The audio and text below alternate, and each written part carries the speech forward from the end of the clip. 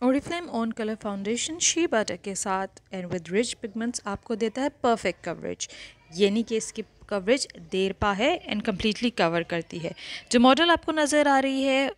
उनके फेस पे light Ivory concealer stick के बाद अप्लाई हुआ है लाइट पोर्सलिन कलर अब की दफ़ा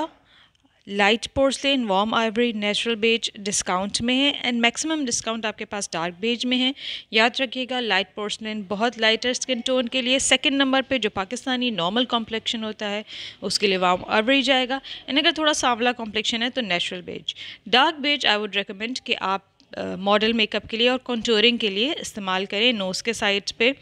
एंड फोरहेड के साइड पे ताकि एक बहुत अच्छा सा लुक आए। आप दो कलर्स मिक्स एंड मैच करके भी अप्लाई कर सकती हैं, अगर आप प्रॉपरली आपने ब्यूटिशन का कोर्स किया हुआ है। इसका टेक्सचर स्मूथ है क्रीमी टेक्सचर है एंड इट्स बेटर कि if it's use for dry to normal skin types अगर सर्दियाँ हैं तो आजकल सबकी स्किन टूअर्स ड्राइनेस है तो सबको ये सूट कर जाएगा। And it's for young ages and for a youthful look